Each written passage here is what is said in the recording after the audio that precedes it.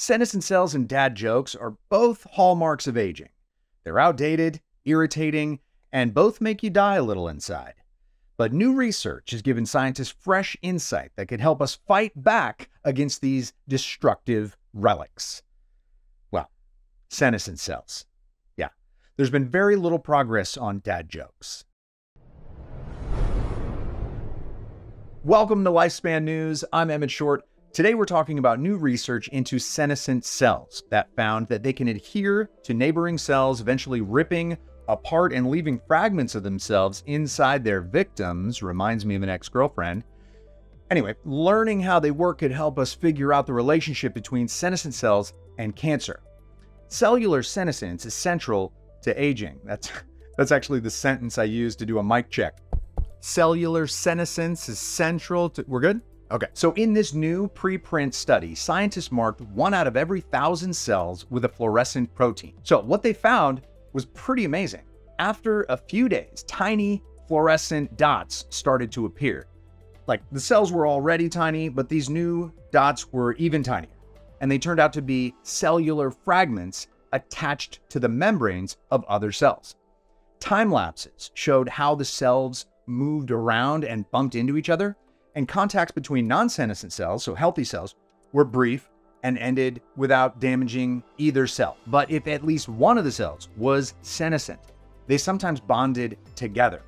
Then, as the cells eventually moved apart, the senescent cell was torn, leaving a part of itself attached to the other cell, as you can see in this actual video taken with a microscope.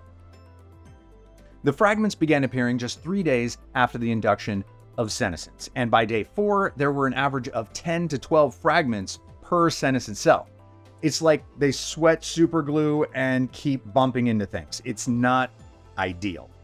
Making things worse, the fragments exhibited spinning, projecting, and retracting arms or crawling like behavior. Yikes! It's like walking dead inside your body. The researchers also wanted to see what effects the fragments have on the cells. So they added these fragments to liver cells and it increased their growth rate.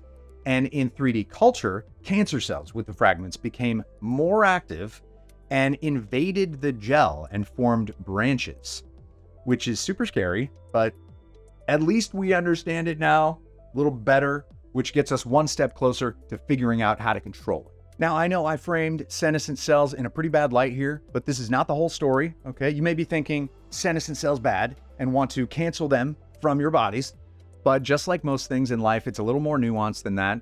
There have been other studies that have demonstrated some benefits of senescence. So, even down to the cellular level, there's good and evil in all of us, and we're gonna need more information before we know how we should respond.